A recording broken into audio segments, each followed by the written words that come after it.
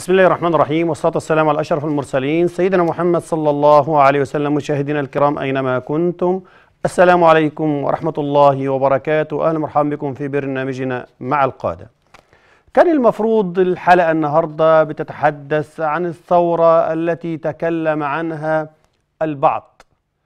وبالفعل برنامج مع القادة الثورة يعني تقريبا بتكون بعد العصر الساعة خمسة وقتنا مباشر في هذا التوقيت. المفروض مننا كبرنامج بنغطيه من أكتر من ميدان. آه الإعداد يشتغل.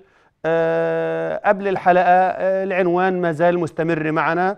آه ماذا يجري آه على أرض مصر. المفاجأة ولا أي حد من تواصل معنا قال إن في ثورة.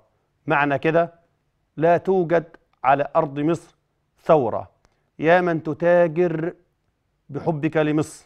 يا من تتاجر بالدين يا من تريد إسقاط مصر. اسمعها. لا تكن في مصر ثورة. بعد ثورتي 25 يناير والثلاثين آه، من يونيو. 25 واحد و30 ستة.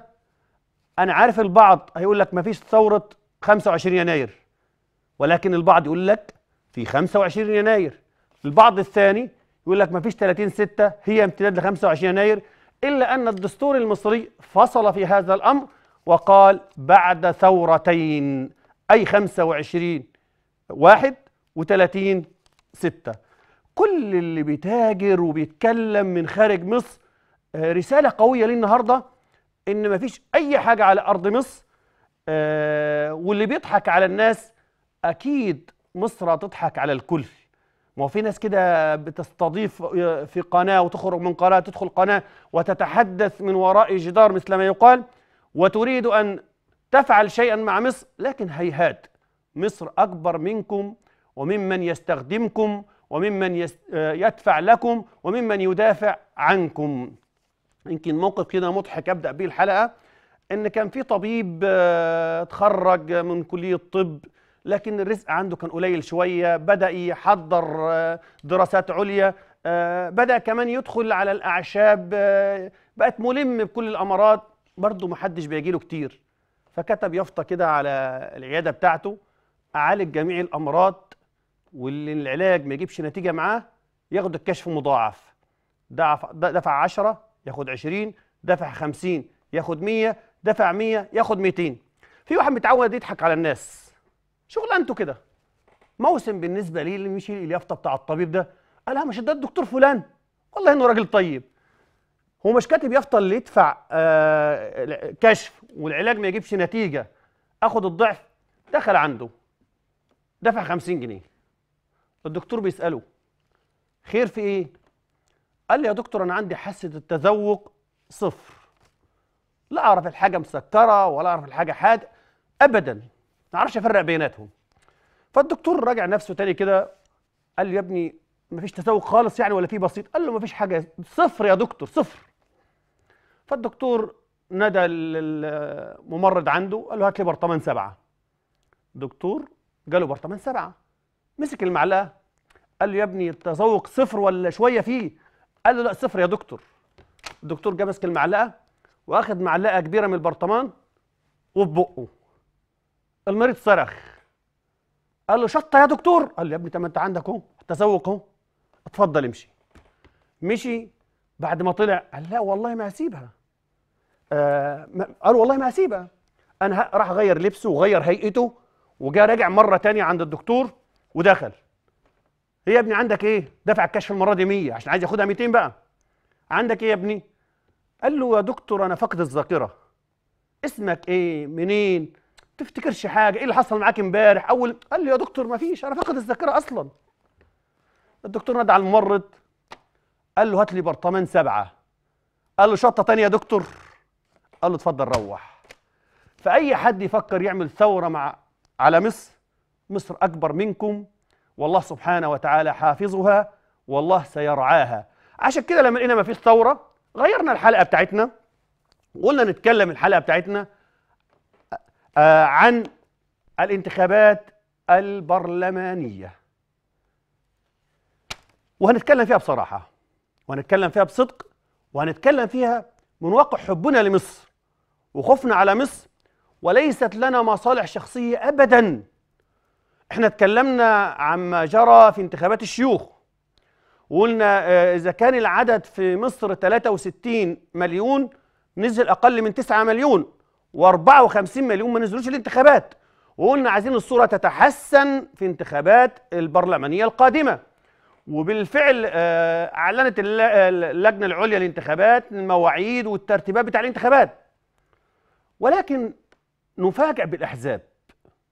أنا بوجه رسالة لكل رئيس حزب أيا كان الحزب وأيا كان موقعه وترتيبه في جدول الأحزاب من حيث القدم أو من حيث الأكثر عددا أو من حيث الأكثر قربا مثلما يقال كل الأحزاب بلا استثناء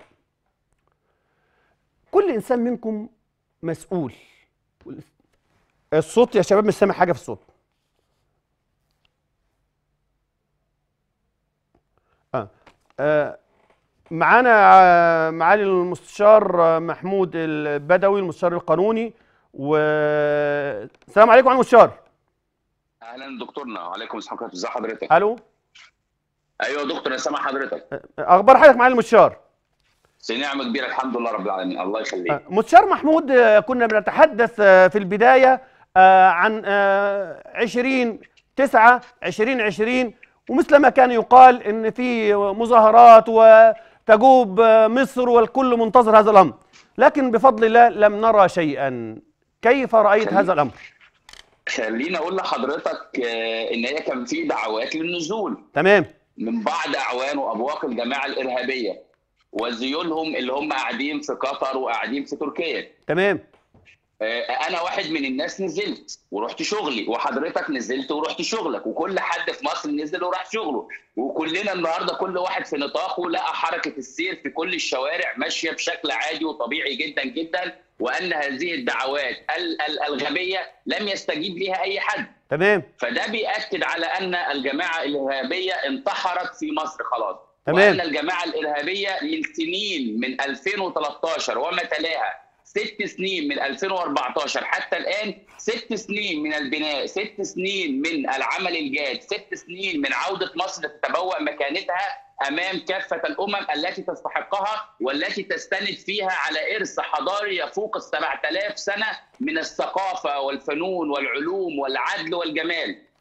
ست سنين مصر فيها بتخطي خطوات واسعة ما كانت أن تخطوها في أكثر من 20 أو 30 سنة. تمام. ده النهارده ردي على هذه الدعوات الغبية وهذه الدعوات الكاذبة بنقول من خلالها إن الشعب المصري فطن إلى مسلسلات الفوضى ال- ال- ال- الهدامة واخد بال حضرتك ومسلسلات الدعوات التي عرفوا أو أو فطنا منها جميعا إلى إن الغرض منها هو تعطيل مسيرة الدولة المصرية. معالي- وخليني أقول لحضرتك ولكل الناس لماذا تخرج الشعوب إلى الشارع أو لماذا ينزل الشعوب إلى الشارع؟ تمام. الشعب بينزل الشارع أما يكون شايف إن في ظلم، شايف إن مفيش إعلاء لقيم الحقوق والمساواة، شايف إن مفيش عدالة، لكن النهارده أنت بتكلمني عن دولة بترفع شأن المريض وب- وبتنهي ال- ال- القوائم بتاعه الانتظار في الأمراض، بتكلمني على شعب على شعب الرئاسة بتاعته أو الدولة بتاعته مدت لها إيده تاخده من المناطق الغير آمنة والمناطق العشوائية وتوفر له سكن كريم بتكلمني على دولة بتعمل أكثر من 7000 كيلو متر من الطرق الممهدة عشان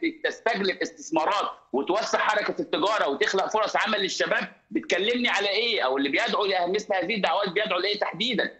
الدولة المصرية باتت تدرك أن السر في التنمية والسر في النجاح والسر إلى أن تكون في مصاف الدول العظمى هو الاستقرار، الاستقرار يتنافى بالكلية مع تلك الدعوات الغبية، يتنافى مع تلك الدعوات اللي بنقول إن الشعب المصري خلاص شعب بقى شعب فاهم مين عدوه ومين حبيبه، فاهم مين اللي شغال لصالحه ومين اللي شغال ضده، فرأيي إن كل هؤلاء الأشخاص خلاص يعني أنا أنا آسف إن أنا أقول لحضرتك كنت أتمنى إن مداخلتي دي نكون بنت- بنتحدث فيها على إنجازات الدولة المصرية ولا نلقي بالا إن مثل هذه الأقاويل الغبية ومثل هذه الأقاويل المغرضة هم أقل من إن إحنا ناخد من وقتنا ومن وقت المشاهدين عشان نتكلم عن هذه الدعوات ال- ال- المكذوبة والغير حقيقية. طب معالي المستشار برضو خليني أقول إن هذه الدعوات حاولت تستغل غضب بعض الشعب المصري بخصوص قانون التصالح وحاول يصطدف المية العكرة مثلما يقال لكن الشعب المصري كان أذكى رغم الظروف التي يمر بها الشعب المصري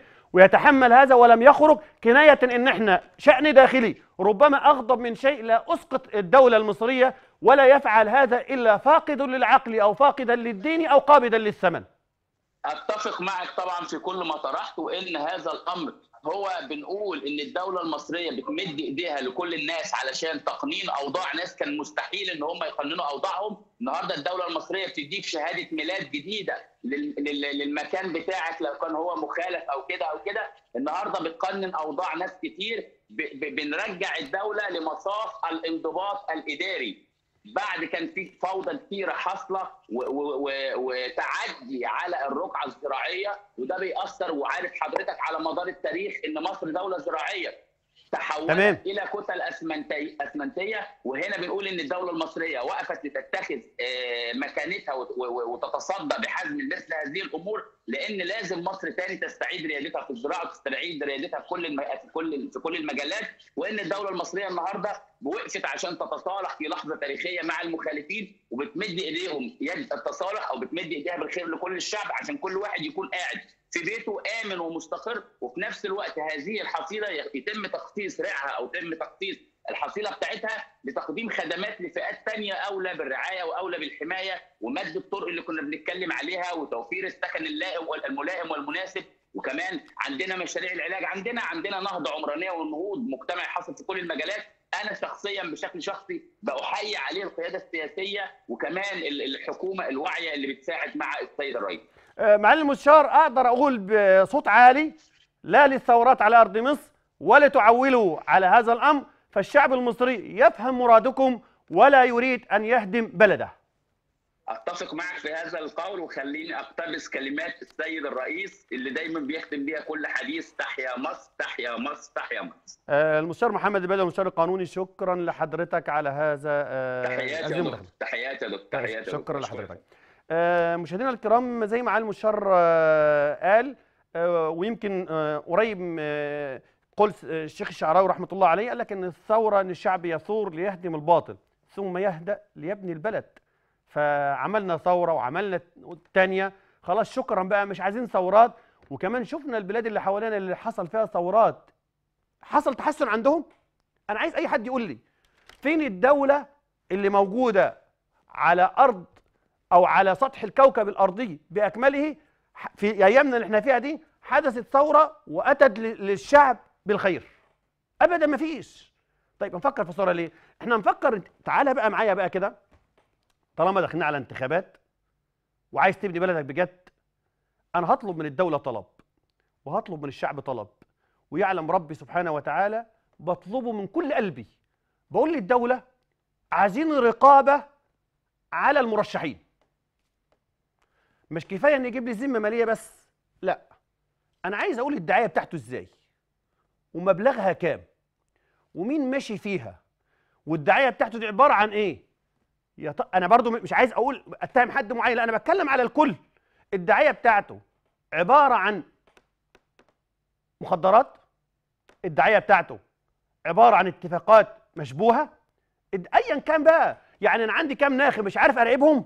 مستحيل طبعا. يبقى أول حاجة بطلب من الدولة مراقبة كل المرشحين في كل تصرفاتهم خاصة في الدعاية الانتخابية. ده الطلب الأول. الطلب الثاني من الشعب المصري. احذر أن تستغل أو يشتريك أحد. ثمنك غالي. فلا تجعل أحد ايا كان هذا الشخص يشتريك. النداء الثالث لوزارة التضامن. السيدة المحترمة دكتورة نيفين عمل جميل جدا جدا يؤدى على أرض الواقع. مش عايز يلوث هذا العمل بإشراك الجمعيات الخيرية في العملية الانتخابية. يكون في تنبيه من الدولة أي جمعية خيرية هتجمع ناس وتاخدهم عشان يطلب أصواتهم ويطلع على الجمعية ياخد كرتونة ولا ياخد كذا ولا إحنا كنا بنحارب الزيت والسكر. إيه اللي رجعنا ليه تاني؟ اذا مناشده للسيدة وزيرة التضامن تنبيه على جميع الجمعيات الخيرية ألا تتعامل مع الانتخابات مقابل الكراتين. ومن يثبت تغلق الجمعية ويحاول إلا التحقيق.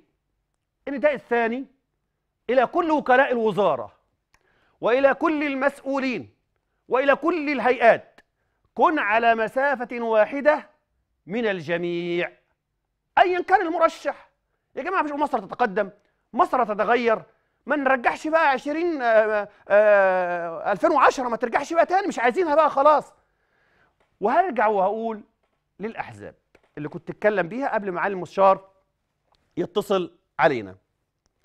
أي حزب يا جماعة ممثل في رئيسه أنت مسؤول عن كل أعضاء هذا الحزب.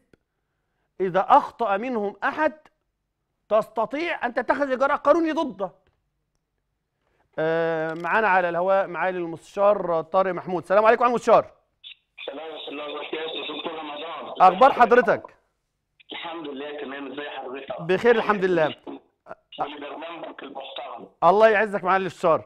آه، سيادة المستشار يعني إحنا بصدد انتخابات برلمانية قادمة بإذن الله بعد أيام وكنت بتحدث آه، في بداية الحلقة عن آه، انتخابات الشيوخ وعزوف الناس لم ينزل أكثر آه، من 9 مليون من أصل 63 مليون.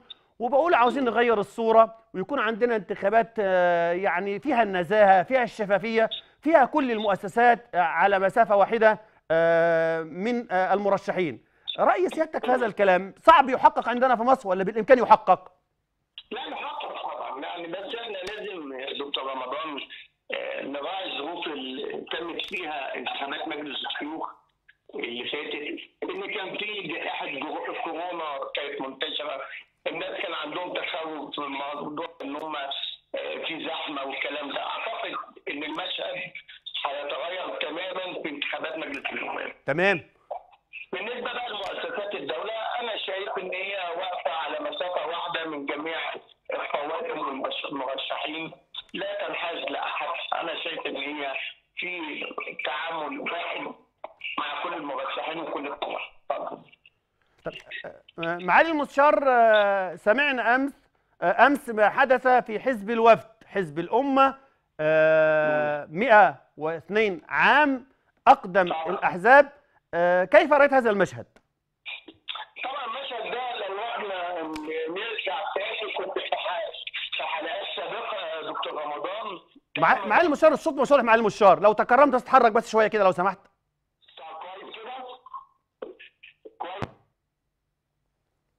ممكن شباب بس ت- مرة تانية يتحاولوا مع معالي المستشار آه، مرة تانية. آه، فبنتكلم على ال- الانتخابات. وبنقول عايزين آه، الص- الصورة اللي حصلت عندنا في انتخابات الشيوخ نغيرها. سيادة المستشار قال حاجة حلوة. قال كان العزوف في انتخابات الشيوخ بسبب كورونا. أتفق معاه ربما. الحمد لله تغير الأمر وبقت أفضل وبقت أحسن. عايزين نغير الصورة دي. وتغيير الصورة دي مش هيحصل إلا لما الناس تعرف إن الأحزاب احترمتها وقدرتها وجابت اللي هي عايزاه. أنا في مصر أنا في الإعلام تقريبا 13 سنة يعلم الله. ما في واحد قال لي قول حاجة أو ما تقولش حاجة. وبراعي ربنا وبقول ما يملي عليه عليه الضمير. وكنا آه، خلال الفترة الأخيرة دي أكثر حاجة نتحدث عنها الشباب المعاقين الشرطة لابد إن الشعب يفهم ويحب الشرطة لأن الشرطة في خدمة الشعب. والحاجة الثالثه الرابعة اللي كنا بنقول عليها إن إحنا لازم آه، نقضي على الفتنة الطائفية في مصر. وكان يستغلوا وقوع أحداث ما بين المسلمين وبين المسيحيين أو ما بين الشعب وما بين الشرطة. مش ده اللي كان بيحصل؟ بنتحدث. عن الشباب عن المعاقين لا للفتنه الطائفية. الشرطة في خدمة الشعب. أربع حاجات كنا بننادي بيها. طب تعالى بقى معايا كده بقى لحظة كده بقى. أنا لما تكون عندي محافظة زي محافظة الفيوم وعندي تحالف انتخابي وزي ما قالوا 11 حزب. طب ال 11 حزب لما أجي على أرض الواقع ألاقيهم ثلاثة بس. مفيش مشكلة برضه حتى هذه اللحظة. لما ألاقي الثلاثه دول يستبعدوا أكتر ناس أدت وكانت في خدمة الشعب. ما تروحش مني بعيد. خليك بس معايا لحظة واحدة. النائب أشرف عزيز اسكندر هستخدمه معايا في النقطة دي في نقطتين. هو اولا راجل كان ضابط في الشرطة. آه رجع لنا معالي المستشار مرة ثانية معالي المستشار. أهلا دكتور. أيوه كده تمام. الصوت. فكنت بقول لحضرتك يعني أنت شايف الانتخابات إن شاء الله هتكون إزاي؟ حتى نمحو ما آه، تكلم عنه البعض في خصوص انتخابات الشيوخ. لا أعتقد المشهد أعتقد أنا بطمن بس الناس المشهد هيبقى مختلف تماما. تماما. هيبقى في هيبقى في اقبال. أنا شايف إن هو هيبقى فوق المتوقع. على هذه الانتخابات. تمام. الترتيبات بتجرى على قدم وساق أعتقد إن هي هتبقى انتخابات تتميز بالشفافيه وهتفرز أعضاء مجلس نواب محترم. تمام. خلينا نرجع بس إن في جزئية مهمة دكتور رمضان. اتفضل اتفضل معالي المستشار فيها آه، بخصوص اللي هي حزب الوفد دي دي دي نقطة مهمة جدا جدا وكويس إن حضرتك أثرتها يعني. اتفضل معالي المستشار. آه، نفس المشكلة دي حصلت لو حضرتك تفتكر يمكن أثرناها قبل كده أنا وحضرتك في الانتخابات الرئاسية السابقة. تمام. إن هو كان في خلافات في الهيئة العليا للوزن عن خوض الانتخابات وما نخوضش الانتخابات. وإحنا طالبناهم يعني على الهواء أكثر من مرة إن هم يخوضوا الانتخابات. تمام. أعتقد إن هو ال- الرأي اللي كان بيقول إن هم لن يخوضوا الانتخابات ده انتهى. وهتبقى في مع يعني أخبار خلال الفترة القصيرة الجاية إن حزب الوفد بتاريخه العريق بالقيادات الوطنية المخلصة هيخوض هذه الانتخابات. يعني المستشار من غير المعقول يعني آه، يعني- حزب الوفد معالي المستشار معالي المستشار معذره المقاطعه يعني المستشار طارق محمود يتوقع إن حزب الوفد سيشارك في الانتخابات ولن يقاطعها لن يقاطعها ودي معلومات مؤكدة وهيعلن عنها خلال الساعات الجاية. وبالتالي اذا القائمة لن تعلن حتى يعلن حزب الوفد موقفه ده أعتقد إن هو في مشاورات مكثفة بتحصل على مدار اليومين اللي فاتوا إن هو يشترك في القائمه الوطنيه وحزب الوفد يشارك أي قائمة يشترك فيها. تمام إحنا بس عايزين ينب- يعني يسيبوا الخلافات بس جانبا دلوقتي لأن المصلحة الوطنية للبلد تحتم عليهم إن هم يقودوا هذه. طب أنت مع... عارف إن مصر مستهدفة يا دكتور رمضان. مع- معالي المستشار قبل ما ألوم الشعب أنا برضو بألوم رؤساء الأحزاب إن هو بيصدر لي. للشارع من هو مرفوض في الشارع طبعاً. حتى أكون أنا منصف. مع حضرتك تماما تمام. أنا مع حضرتك تماما لا هو آه يعني معظم الأحزاب ملهاش تواجد فعلي في الشارع المصري. تمام. ما ما لهمش أي لجان ما لهمش شعبيه تقدر تقدر عليهم كده من غير أي حساسيات إن هي أحزاب كرتونية. تمام. أحزاب مسميات فقط الناس مش حاسة في الشارع المصري بأي إنجازات أو أي وجود لهذه الأحزاب. تمام. يمكن إحنا لما بنقول حزب الوطن بنقول ده حزب وطني. عريق اصيل ده لازم يبقى متواجد لأنه له كوادر موجودة في الشارع. تمام. آه. أما بقى الانتخابات مجلس النواب وأنا بس يعني يعني هقول كده مش عايز أطول على لا اتف- اتفضل معالي المستشار اتفضل. ربنا. انتخابات مجلس النواب أنا شايفة إن هي هتبقى انتخابات شرسة.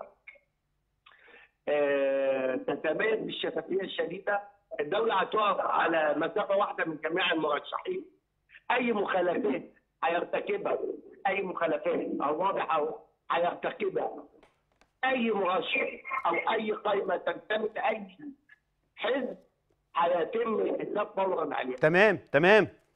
آه يعني لازم الدولة قوية مؤسسات الدولة قوية بتواجه أي خروج عن القانون في أي حاجة.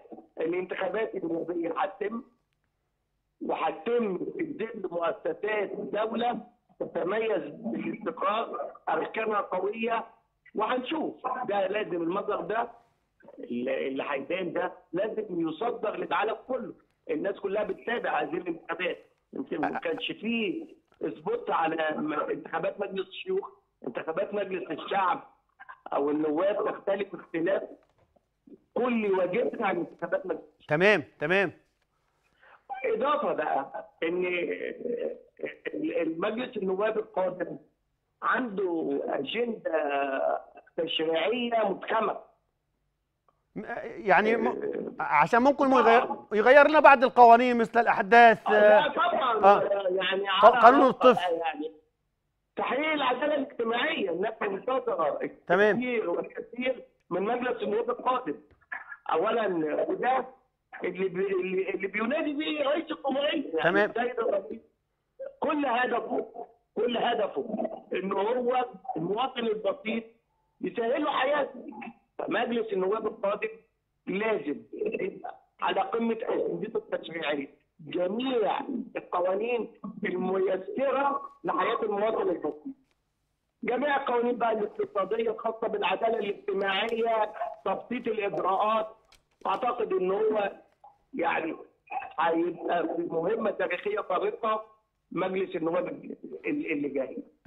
ان شاء الله إن شاء الله مع الم... حدود المتاح. إن شاء الله معالي المستشار طارق محمود المحامي بالنقد والدستورية العليا. شكرا لحضرتك. آه، مستشار طارق محمود بيأكد إن حزب الوفد هيشارك. طبعا كلنا نتمنى هذا الأمر. حزب الوفد حزب عريق. وإحنا عايزين انتخابات تمر ونقول لكل آه، أي إنسان عايز يفرح في مصر لا مصر قوية. ولكن برضو بقول لرؤساء الأحزاب آه، العملية الانتخابية دي طبخة.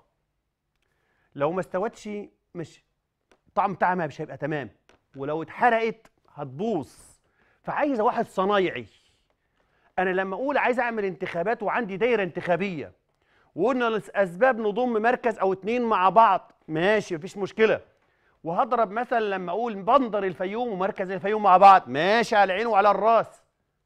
لما أجي أعمل تحالف أنا بقى كأحزاب كبيرة أنا بقول أنا راجل سياسي أنا اللي بعمل الطبخة. بقى أجي مركز الفيوم وبندر الفيوم. أنا عندي المركز لوحده. والبندر لوحده ضمنا الدايرتين على بعض. أسيب البندر بالكامل ما أجيبش حد في التحالف فيه. وأجي في المركز أجيب ثلاثة تحالف في شرق المركز وغرب المركز ولا واحد؟ إذا هنا خطأ. ليه بقى؟ لو فرضا طبعا المركز أكبر من البندر في عدد السكان. لو افترضنا جدلا مثلا يعني المركز مئة ألف والبندر سبعين ألف. أنا التحالف تبعي كده لا يملك خمسين ألف بس. ضيع مني خمسين اللي هي في المركز وضيع مني البندر كله. يبقى حتى أنا لما جيت أدير ما درت الصح في الجزئية إيه؟ أنا بتكلم على التوزيع الجغرافي ولما أجي آخد ناس مع العلم التلاتة التحالف بتاع المركز كلهم أصدقاء لي.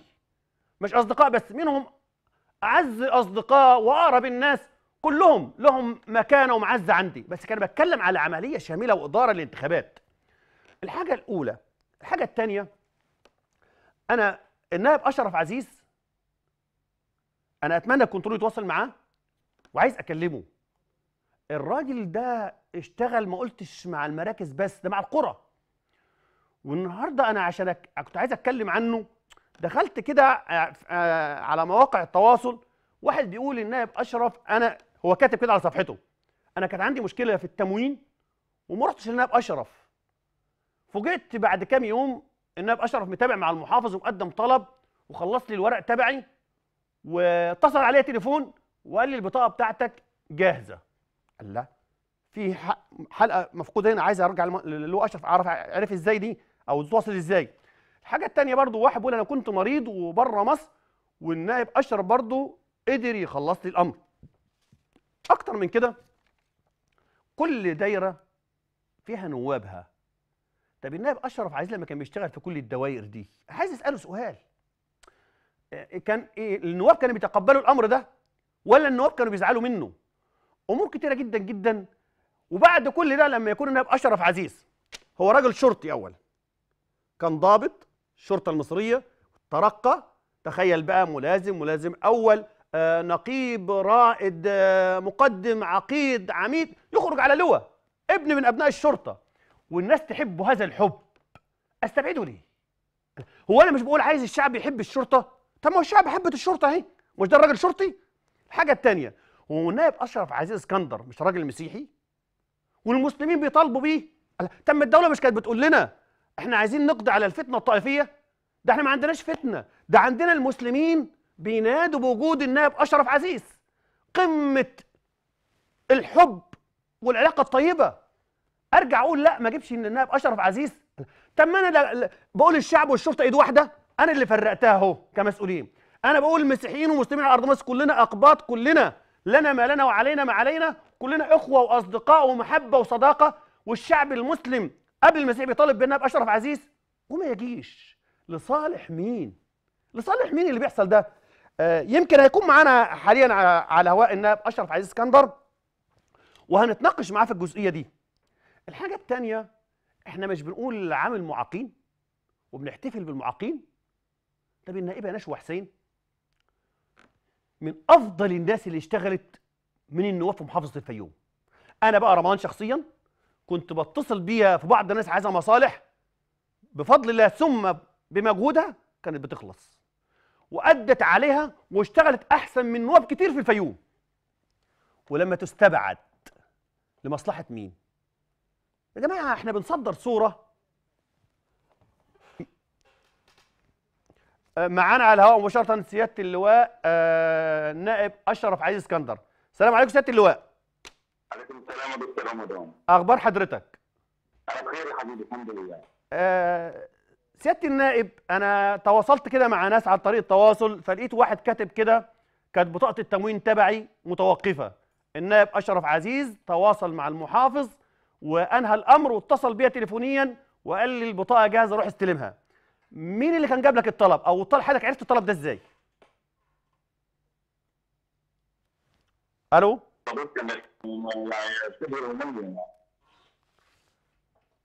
آه، سامعني سيادة النائب؟ يا شباب الصوت, الصوت مش واضح يا جماعة. آه، ماشي. آه فأنا والله ما في تواصل مع النائب أشرف في الجزئيات دي خالص ولا كلمته ولا اتناقشت معاه فيها. بس أنا لما قعدت كده أشوف كده الحاجات دي نائب شغال بدرجة امتياز. إزاي ما يجيش قايمة؟ إزاي ما يعملش حسابه فردي؟ وإحنا عايزين نصدر للشعب عندنا يا جماعة كل اللي هيخلص في عمله يركن بره إيه ده؟ صعب قوي الكلام ده. طيب أنا بتكلم على كمان في عدد المرشحين. أنا ك... أنا بقى صوتي أنا كمنظر ومركز الفيوم كل المترشحين أصدقاء ليا. طبعا يخصني بالدرجة الأولى الحاج محمد محمود لأن صلة القرابة والنسب والبلد مش مش هتكلم فيها دي منتهي منها. طيب الحاج عبد عبد القادر أخويا وحبيبي العم سيد سلطان أعرفهم عشرة ال- الحاج محمد هاشم أخويا الكبير سيادة النائب أشرف عزيز اسكندر. ما فيش غبار عليه. آه، الشاب المحترم الخلوق آه، آه، محمد فؤاد زغلول. طيب العدد الكبير ده كله أنا أدي صوت لمين؟ في ظل وجود برضه سيدات لها كل الاحترام والتقدير. ويمكن هذكر ثلاثة بس من العدد النساء آه، الأستاذ صبيح السيسي الأستاذة راضيه إدريس الأستاذ علياء الوزير وغيرهن كثير. يعني ال- ال- ال- الموجود عندنا على الساحة ما شاء الله عدد كتير. رجع لنا النائب أشرف عزيز إسكندر. السلام عليكم سيادة النائب. معاك. آه، سيادة النائب كنت بقول لحضرتك يعني آه إزاي كانت بتوصل لحضرتك الطلبات دي؟ أو تعرفها إزاي؟ آه، يعني أكتر من طريقة يا دكتور رمضان. زي؟ آه، زي آه، الطريقة الأكبر عددا عن طريق التواصل الاجتماعي. يعني حد آه، ومش شرط يكون موجه ليا الطلب. أنا عم كان معايا فريق عمل الحقيقة كان بيبحث عن المشاكل على الفريق يعني بيبحث عن المشاكل اللي بيعرضها المواطنين على الجروبات بتاعة الفيوم أو حد منزل آه، مشكلة خاصة عارضها بصفة عموم يعني. يعني يعني مش لازم معايا مش لازم نعم. يبعت مش لازم يبعت الشكوى لحضرتك. بمجرد ما ب... لا لا لا لا. بت- معظم ال- معظم المشاكل كنا بنخطفها كده يعني بن- يعني بنقرأ المشكلة المعروضة بناخدها بنشتغل عليها. أحيانا كان صاحب المشكلة ما بيبقاش عارف إن إحنا شغالين عليها يعني بناخدها نشتغلها ويفاجئ إن إحنا بنحلها له وبنديله النتيجة فكان بتبقى المفاجأة بتبقى بالنسبة له سعيدة يعني. طب سيادة النائب أنا لسه بتكلم قبل حضرتك تدخل معايا الهوا كنت خير سفير للشرطة لما الشعب الفيوم الكامل عايزين النائب أشرف عزيز اسكندر وهو في الاصل ضابط شرطة وقلنا شيء جميل أيوة. جدا إن الشعب بيحب الشرطة. والحاجة الثانية في نفس الجزئية النائب أشرف عزيز اسكندر آه، نائب مسيحي والمسلمين ينادوا وإحنا بنقول مش عايزين فتنة ده مش فتنة بقى دلوقتي حالا ده قمة الحب بين المسلمين وبين المسيحيين. لماذا لا يمثل النائب أشرف عزيز اسكندر نائبا قادما في الفيوم خاصة بعد الأداء المميز. أيوه. آه، الحاجة الأهم نما إلى علم برنامج مع القادة إن النائب أشرف عزيز وهو وفدي آه، في آه، في حزب الوفد قام بتقديم استقالته من حزب الوفد. هل هذا حدث؟ حصل بالفعل من حوالي ثلاث أربع أيام الحقيقة. ال- ال- الوفد بيمر بوعكة شديدة وللأسف آه، رئيس حزب الوفد المستشار بهاء أبو شقه أهدر آه، 100 سنة من عمر الوفد آه، خلال الأسبوع الماضي يعني. وده في حد ذاته مؤلم. وأنا لو ضليت في الوفد آه، هفضل في الغصة دي. فحبيت آه، أبعد عن المشهد آه، خصوصا في الظروف يعني. طب سيادة النائب يعني حضرتك أنا عارف لو قعدت في البيت وما كنتش نائب أريح ليك وأحسن ليك. لكن ماذا تفعل مع شعب الفيومي؟ مسلمين قبل مسيحيين ينادون بنزول النائب أشرف عزيز اسكندر. ما هو قرارك؟ إن شاء الله أقول الانتخابات اتفضل. أنا أنا من شهر ستة اللي فات واخد قرار إن أنا مكتفي بالفصل التشريعي ده وتجربة حاسس إنها إلى حد كبير ناجحة الحمد لله بشهادة الناس اللي بيقولوها لي يعني. فكنت مكتفي بالنتيجة دي وكنت الحمد لله هعيش بقى يعني إن كان ليا في العمر بقية.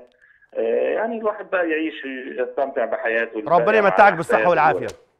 الله يخليك. آه، وفوجئت بعد إعلان التسريبات. هي مش إعلان رسمي الحقيقة كان في تسريبات لبعض أسماء آه، مش عايز أجرح في حد بس يعني لقيت الناس مستاء من بعض ال من من ال يعني من من الاختيارات. وما زالت وما زالت الناس مستاءة. ونظام الاستحواذ لحزب معين على حساب كتلة الأحزاب الباقية. ف ما أعرفش حسيت إن أنا بالنسبة للناس آه، أو هم اللي بلغوني يعني إن أنا بالنسبة لهم آه، يعني شخص مهم إن أنا يحقق المعادلة أو يعني يوزن الأمر. ما قدرتش أتراجع وخدت القرار آه، آسف يعني حبيت أتراجع عن عن فكرة ال- الاستراحة اللي أنا كنت مقررها لنفسي وأخوض التجربة والباقي على ربنا ودفع الناس اللي في الصندوق بقى. يعني مش كل حاجة التعاطف ال- بالكلام. إحنا قدامنا آه، صناديق و- وتوجه للصناديق بكثافة وتحط اسمك في صوتك في الصندوق. ده أهم شيء في المرحلة الانتخابية كلها. آه، سيادة النائب أنا يمكن سئلت لماذا رمضان في برنامج مع القادة آه، يعلن آه، تأييده آه، للنائب أشرف عزيز اسكندر ويعلن تأييده للحاج محمد محمود. أنا أجبت إجابة قلت له آه، في اتصال تليفوني معاه آه، أنا أيدت النائب أشرف لما لقيت شعب الفيوم بالكامل حزن لما عرف إن هو مش جاي. وأيدت الحاج محمد محمود لما لقيت شعب الفيوم بالكامل فرح لما الحاج محمد محمود جاي. والاثنين إن شاء الله وأبشرك ناجحين من الجولة الأولى. لكن سيادة النائب آه، حضرتك خلاص أكدت إنك داخل انتخابات خلاص؟ إن شاء الله. آه، في تحالف؟ لا المرحلة دي ما ينفعش فيها التحالف. أنا معتمد على توفيق ربنا وعلى حب الناس واللي أنا مستشعره كويس قوي. آه، والحمد لله أنا يعني يعني ليا شرايح كبيرة من من كل فئات المجتمع متوقع إنها تديني صوتها. آه، آه، مش بس اباط مش مش بس مثقفين مش بس بسطة.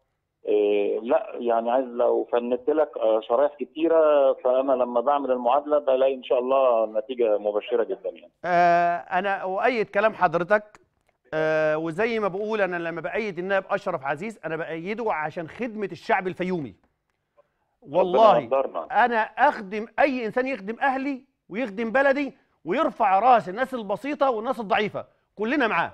أنا كرمضان أتمنى. أعلنه برنامج مع القادة أنا مع النائب أشرف عزيز اسكندر بسبب ما رايته منه من خدمة الشعب الفيومي ودي اللي إحنا عايزينها يا رب آه لكن سيادة النائب بقى اسمح لي يعني التعاطف زي ما أنت قلت على الفيس وكده مش هو اللي هينجح طبعا, طبعا. عايزين هيكون في مؤتمرات طبعا هيكون في حملة انتخابية ويمكن طبعا. أحد الناس أرسلت لي وهو الأستاذ تامر من طمية رغم من دايرة بعيد عننا وقال أنا متبرع لنائب أشرف عزيز اسكندر ب 100 شخص يقفوا معاه في الدعاية ورغم إن هو خارج من آه نطاق مركز وندر الفيوم. يعني دايره انتخابية غير. رمضان نعم. رمضان بصفتي آه، عضو مجلس النواب عن قايمه فأنا استخدمت الدستور وحقي إن أنا أشتغل في الفيوم كلها. والحقيقة أنا يمكن تعمدت إن أنا أشتغل في الأطراف البعيدة قوي اللي هي المحرومة من الخدمات. طيب. آه، في كل المراكز إن كان في قطه في النور في يوسف الصديق في طمية وهكذا.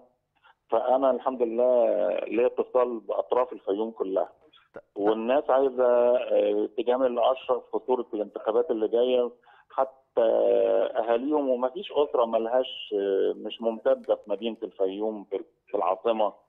فكله عامل رواج لل- للاسم الحمد لله مع أهاليهم وأسرهم وأصدقائهم. اللي في محيط بندر الفيوم وبرضه في المركز. طب سيادة النائب اسمح لي أسألك السؤال الأخير ده لو سمحت. اتفضل. لما النائب أشرف عايز كان بيجي يشتغل في في دائرة ايا كانت الدائرة دي فيها نائب موجود أصلا. ابن الدايره زي ما بيقولوا موجود في المكان ده.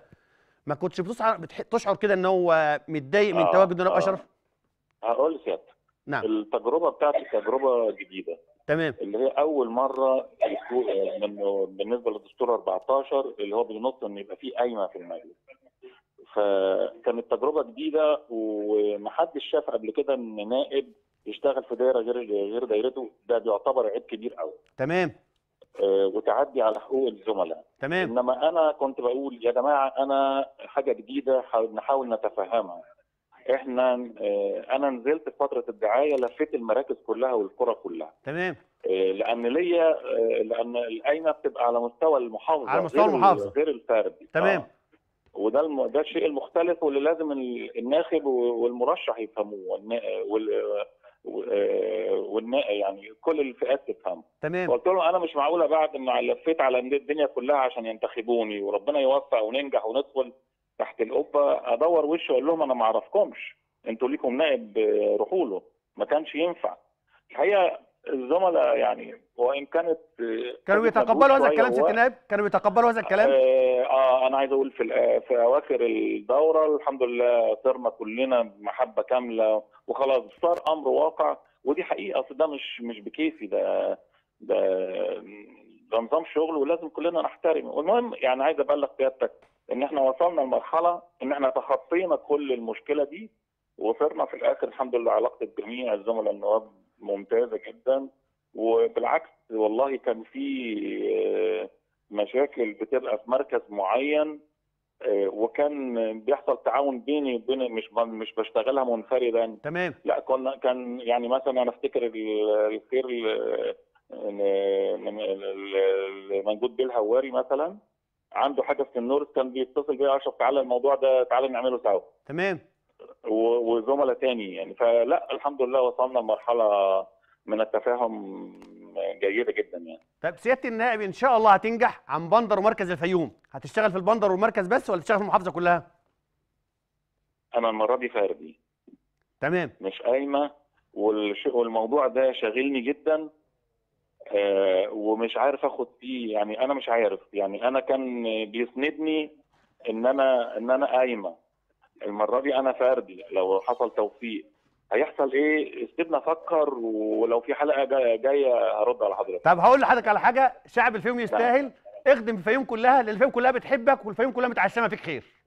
أتمنى بقى ساعتها يبقى الزملاء النواب في كل الدوائر.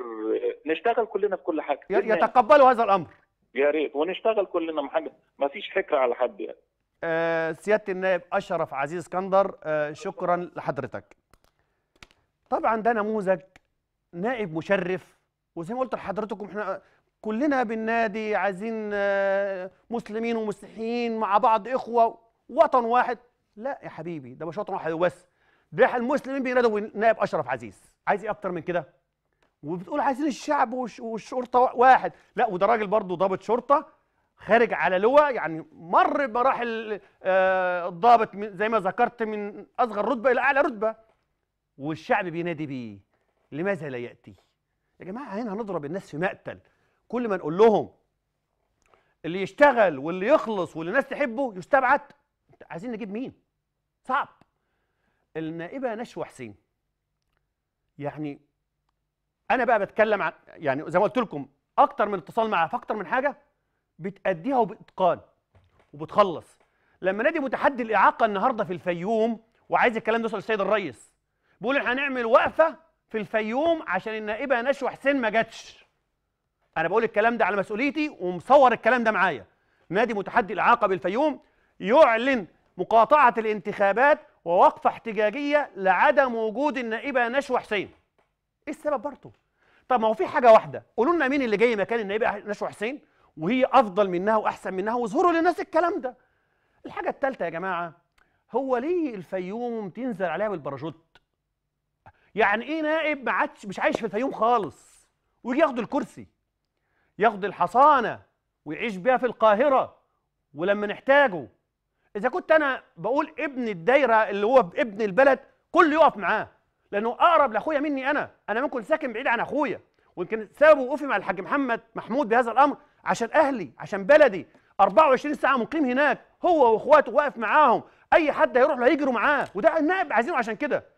إنما لو قعد في القاهرة والله العظيم لو الحاج محمد محمود نقل وعاش في القاهرة ما هديله صوتي. في أكتر من كده؟ بس أنا بديله ليه دلوقتي حاليا؟ عشان خدمة البلد. هو هيتعب وهو هيجري.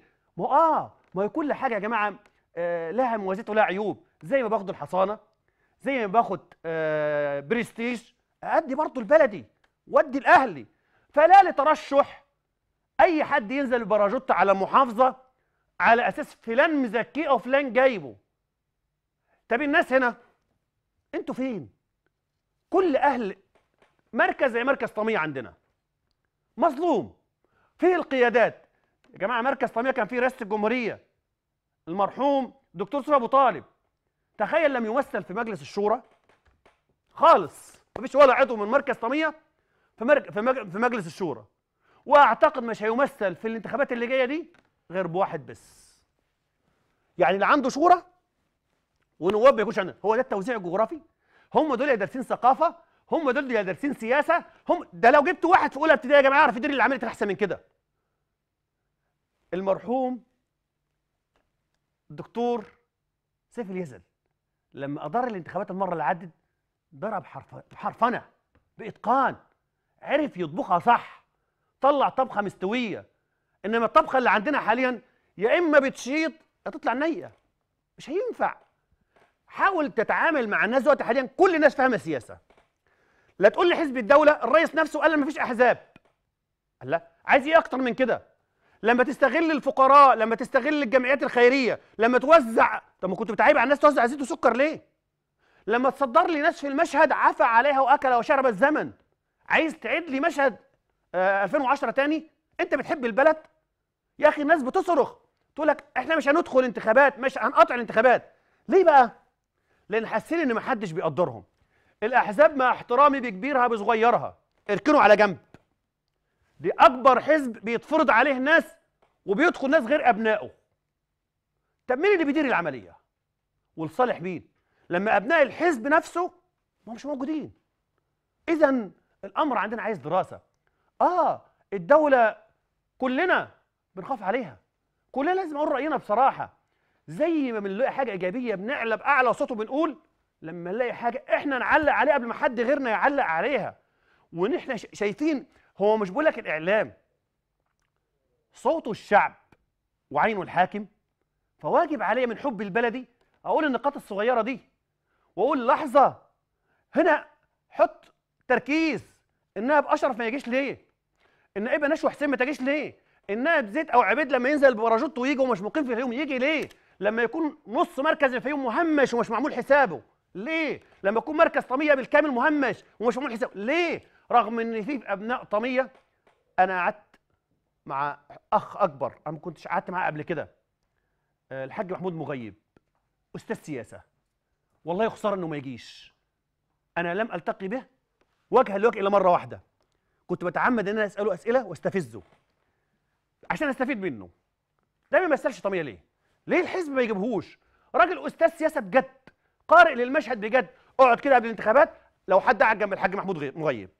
هيقول لك مين هينجح وليه؟ ومين هينجح؟ ومين هيسقط؟ قاري وقاري صح للمشهد من خبرته. لازم يا جماعة الناس دي تتقدم المشهد. يا جماعة إحنا كلنا بنحب مصر وكلنا واحد. والإنسان اللي عايز يدخل نائب ده هو مش عشان يخدم الشعب. يعني في ناس داخلة مجلس النواب عشان تخدم نفسها؟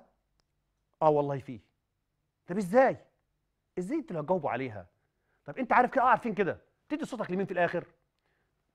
وأنت واخد ورقتك كده ورايح ورا الصندوق وأنا هتكلم في الجزئيه دي باستفاضة فيما بعد. لا يراك إلا الله. أوعى تعطي صوتك إلا اللي ضميرك مستريح عنه. اللي هو بيخدمك بجد. مش اللي هياخد صوتك وقبل الانتخابات يبص على راسك وبعد الانتخابات يعمل لك بلوك. ويعدي من جنبك بيتكلم في التليفون ومش باصص عليك خالص بس في الاتجاه التاني. مش بيحصل يا جماعة. عايزين نفوق بقى شوية. إحنا نقف جنب اللي يقف مع شعبنا ومع بلادنا ومع أهلنا ومع ناسنا ونخدم اللي بيخدم الناس اللي بيتكبر علينا اللي هو شايف نفسه إن هو بيشترينا بفلوسه. اقف! لا فلوسك ولا أنت ولا منصبك ولا الدنيا. تشتري الرجال. أنت ممكن تشتري شوية رعاة. يكتبوا عنك يتكلموا عنك يعملوا لك ان انت الكبير بتاعهم مش مشكلة مش بتاعتنا دي. لكن إحنا بنقول الشعب الأصيل الراجل المصري بجد لا يعطي صوته إلا لمن يستحق. وأتمنى من وزارة التضامن تصدر قرار أو تعلن لجميع الجمعيات الخيرية لا للتعامل بالمال السياسي لا للاشتراك مع أحزاب بعينها لا للذهاب ليلا لأخذ الكراتين من المخازن. وأقول لكم على حاجة عايزين وزارة الداخلية تقول للإعلام افتحوا لنا الأبواب المغلقة وأي حد يشوف حاجة زي كده يصورها ويبعتها. أنا برنامج مع القادة بإذن الله تعالى. سأنشر كل ما يخدم مصر. وأي إنسان يعمل حاجة إيجابية ايا كان هو أذهب إليه وأحييه وأقدره وأنشر. وأي إنسان يلعب بالبيضة والحجر ويلعب على أهلي وعلى بلدي وعلى ناسي لا. لن تمر مرور الكرام هذه المرة. كفى. إحنا بنقول مش عايزين ثورة إحنا عايزين عقول. تفكر مين يخدمنا نقف معاه مين نديله صوته صوتنا علشان يعمل لنا خدمة لبلادنا. شوف الط... آه، آه، البلاد مش هتتقدم إلا بالمعلمين والأطباء ويكون عندك دولة قانون واللي يعمل لك دولة قانون هو التشريع والتشريع اللي بيعمله مجلس النواب. يعني مجلس النواب يقدر يلعب بالبلد لعب. وبإمكانه ينهض بالبلد. فأي إنسان هيساهم في خروج مجلس نواب قوي أنت بتخدم بلدك. وأي إنسان ايا كان في منصبه أو ايا كان منصبه هيساعد حد فاسد هو بيدمر البلد. عشان كده أتمنى إن الأمر يمر مرور الكرام ويخرج لدينا نائب يستحق هذه الكلمة نائبا عن الشعب يتحدث باسم الشعب لا يضحك على الشعب. مشاهدينا الكرام أنا وقتي انتهى. كان عندي نقاط كتير عايز أذكرها هأجلها للقاء قادم إن شاء الله. آه، أتمنى من ربنا سبحانه وتعالى أن يحفظ مصر بحفظه. اللهم احفظ مصر وشعبها اللهم احفظ مصر وأهلها اللهم احفظ مصر وجيشها اللهم احفظ مصر وأمنها اللهم احفظ مصر ومن أحبها. إلى أن نلتقي بحضراتكم في الأسبوع القادم. أستودعكم الله الذي لا ودائعه. والسلام عليكم ورحمة الله وبركاته.